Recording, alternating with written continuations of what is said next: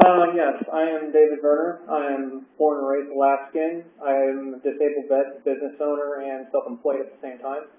Um, I've been working with the Occupy Movement National for about uh, three weeks now, and I was wondering what is your view on the Occupy Movement nationwide, and do you think it might be a possible way of uh, bringing hope and fixing the problems that we have with our current government? I think.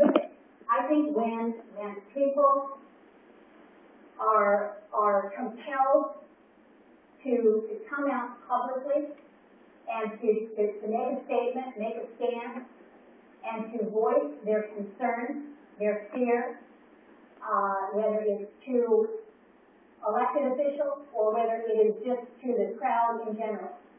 I think that's a good thing. I think part of, of, of our problem today has been people have just kind of I, I, I shouldn't say complacent. People have been living their lives. They've been raising their kids. They've been running a business. They've been doing things and they just, they're not going to wake up and realize that, that their enemy now is the government. Um, they assumed that it was, they, that's right, but they assumed that it was going to be good. And they didn't have to be engaged or involved. And so the, the, the Occupy movement that is out there, you know, started with, with the and Wall Street, it's kind of morphed into to a broader anxiety and, and frustration that is manifested in lots of different ways. If you look at the people that are, are in Washington, D.C. or out on the, the park strip in Anchorage, you'll see all kinds of different signs. Sometimes it's, it's you know, the inequity uh, between the, the, the, classes. Sometimes it's stop the war. Sometimes it is, uh, you know, help me with my student loan. It, it is angst and anxiety and frustration with, I believe, regulation at all levels, whether it's Wall Street or, or lack of regulation or, or just speaking out against what they believe to be the unfairness. Um, can it be, can it be a positive thing? I think it can if, if, if you have it kind of coalesce and, and focus. I think right now there is there are some who say it, it takes in one direction and others who say it, it goes another. It's not so unlike what we saw last year and the year before with the Tea Party. People said, I'm fed up. I, I've had enough. I want government to get out. And so they, they, they stood up. They were active. They were engaged. They were involved. And they were really committed. And so you know, whether you agree or disagree with the Tea Party movement, or whether you agree or disagree with the Occupy movement, I think the fact that, that people are, are motivated to really get out and be engaged, I think that's good for the process. Okay, so we'll take the lady in.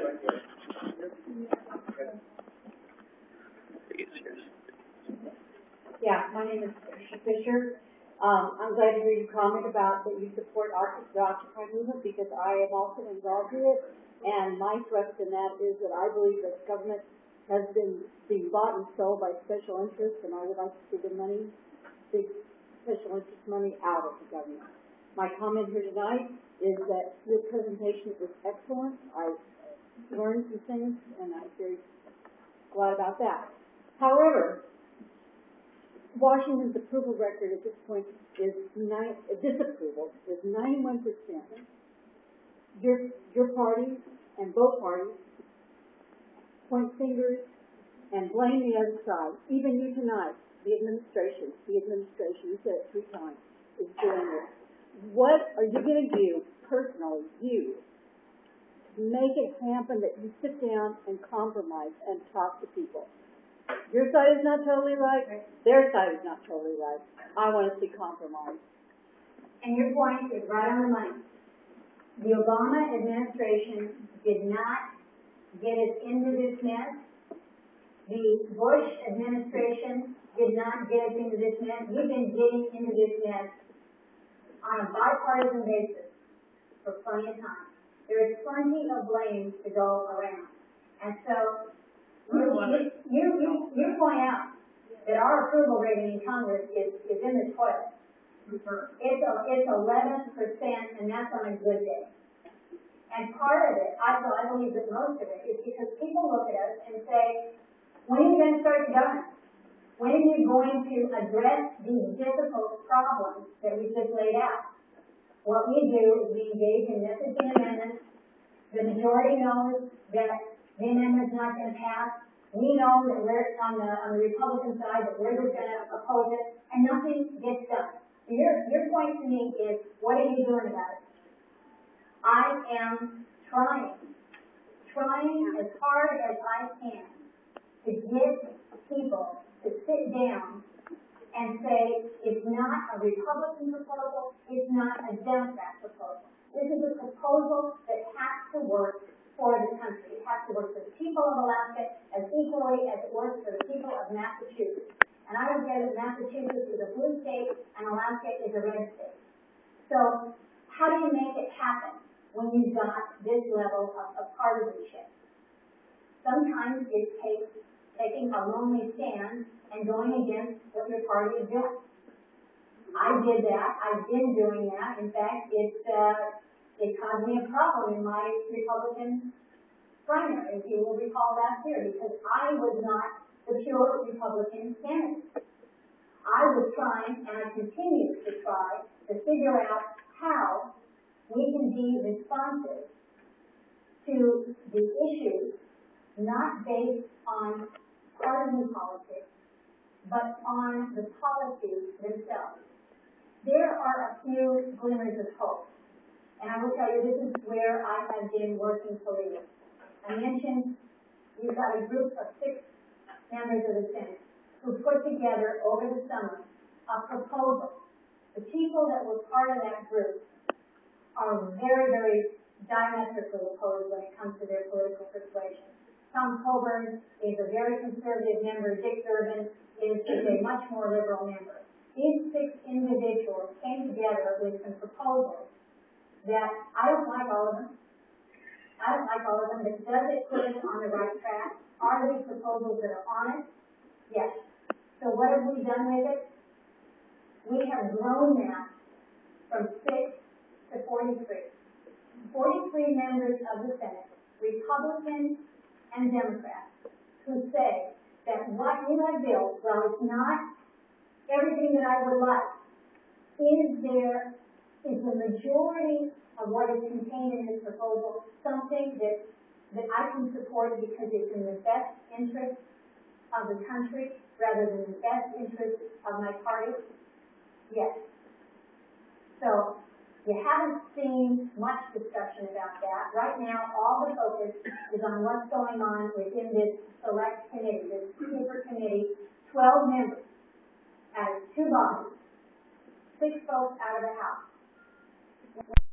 What's going on, but what we hear is that folks are lining up on either side saying, nope, you can't touch entitlements, and nope, you can't touch taxes.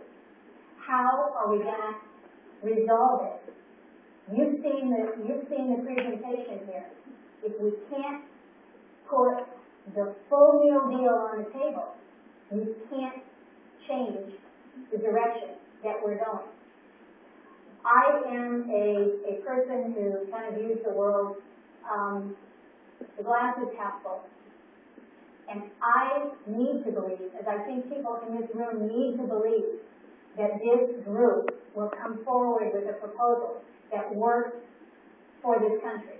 Because if it doesn't, we go to the sequestration, we go to across the board cuts, we're all going to feel the, the brunt of that. And we will have not solved the problem.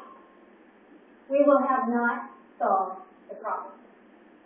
So, my commitment to Alaskans is not to be representing the Republicans, not to be representing just those who voted for me, but to truly try to represent not only all of the people here in the state, but trying to represent a, an approach that is even-handed and fair and equitable, and encouraging other members to put the partisan politics behind so that we can, we can do what's right for the country.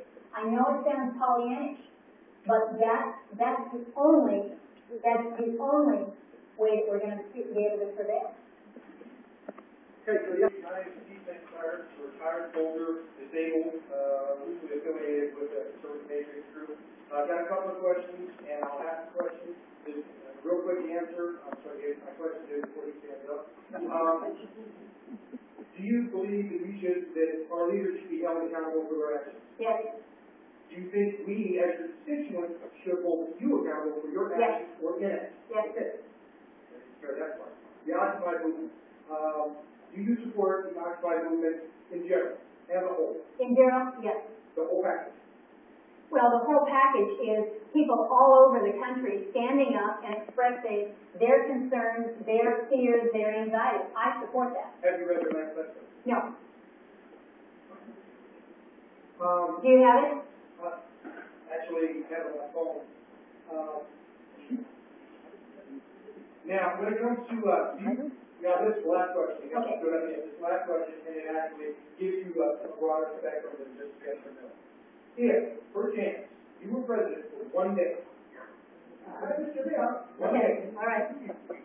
would you, or what organizations or departments within the federal government would you abolish?